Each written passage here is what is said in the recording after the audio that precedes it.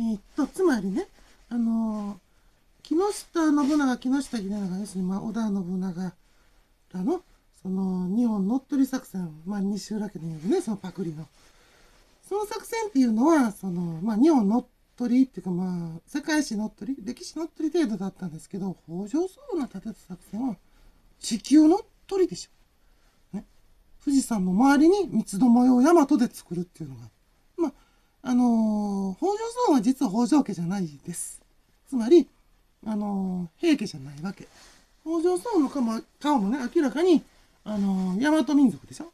で、織田信長の顔も明らかに大和民族でしょ？で、平家は大和民族じゃないねん。実は。えっ、と、先住民でもないよ。で、春名系でもないけど、まあ、ペルシャ系。ね。まあ、日本にとっては、まあ、どちらかというと、本家に当た系統なんですよ。平家がむしろね。実は。で、あのまあ、ペルシャにずっといた一族。カルデア時代もいたりしたわけでね。もうずっとペルシャにおったし、その平っていうのはもうその、ティターンとかとも関係あるし、で、あのまあ、平地地か高原っていうかまあね、その、ペルシャ文明ですよっていうね、要するに。で、えー、っと、ただ、その、根結はしてたはずよ。そのパルティア馬族、旗とはね、いわゆるパクとはね。それがまあ平家の特徴かな。で、あのー聖徳太子に始まるその兵士、ね、関門兵士の方の兵士ね。あれは純粋なペルシャ人なんですよ。ね、ペルシャ王家やった。聖徳太子って実は。陽明天皇がね、実はね。だから日本の、あの、主人にあたるペルシャ王家が聖徳太子の時に来たわけなんです。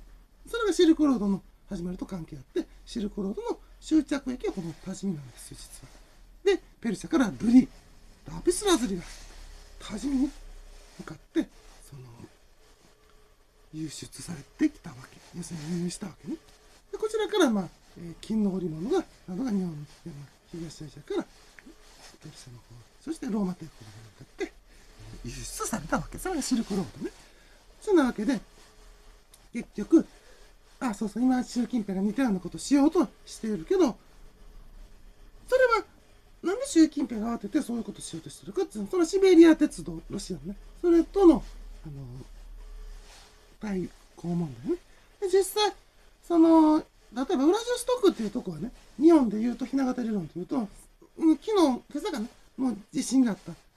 まあ、東日本大震災が起きたあたり。まあ、あのあたりに、まあ、ウラジオストックに、あの、当たる塩川という町がございまして。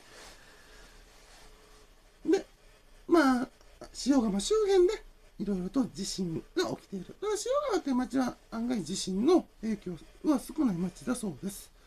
で、ただ、そのシベリア鉄道に対して、要するに習近平が、中華人民共和国がプレッシャーをかけている。それが、まあ、現代のシルクロードといわれる、なんだかな、えーっとね、忘れちゃった。一位大水みたいな。一位大水はその水運ですけどね。海運の方ですけど。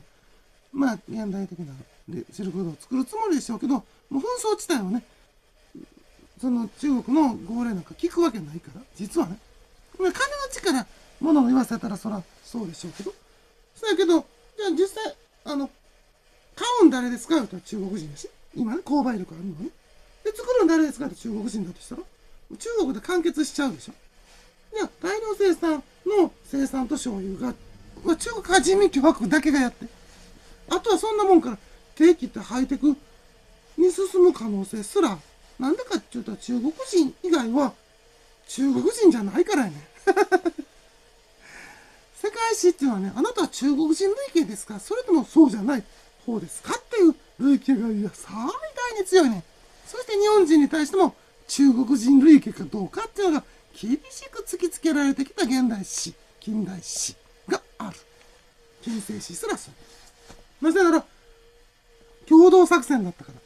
家屋満州、大和民族、吉丹女神、要するにパクリ、真の始皇帝と上腹の流れ。このバイカル、バングルデシュ、の、ススラベシね、の両方ムー残党が、文明が簡単に使えるようになった時代に、おかしな動きをいつもしてきた。それまでの時代をね、そうでもなかったとは言い切れないでしょ金の力で物を言わしてきた末っ子二人。パクリ。ね。この行情をずっと監視してたわけ。それは地上からだし、から、地上からもしてるけど、上の地上からもしてるよ。その上の地上からもしてるよ。ずーっと見てんねん。要するに、ユダヤ遺伝子の振る舞いをね、なんだかんだ完成してへんし。で、第一、遠くから来たウイルスでしょ、もともと。だから完成させたらあかんのじゃないかっていう説と、なんとか完成させた方が無難やろって説で対立してんねん、実は。科学生みたいなところがね。どっちかなってんでも交互にするしかないねっていうことになって、だから前回と反対の結論に今回はもう最初から決まってるわけ。そういう路線で。その流れにおいて最終結論を言わずに、どのくらい反省してるかっていうのを、そのね、ユダヤ遺伝子、要するに遠くから来たウイルスが私たちの遺伝子を組み替えてしまった、RNA 変換してしまった、その慣れの後の人たちをどう処分しようか、どう処理しようかっていう厳しい問題があんねん。だってうちかって病んでしまうから。彼らが侵入することによってね。で、うちも彼らのマトロシカに言ったら、うちが大和民族ユダヤ人やからね。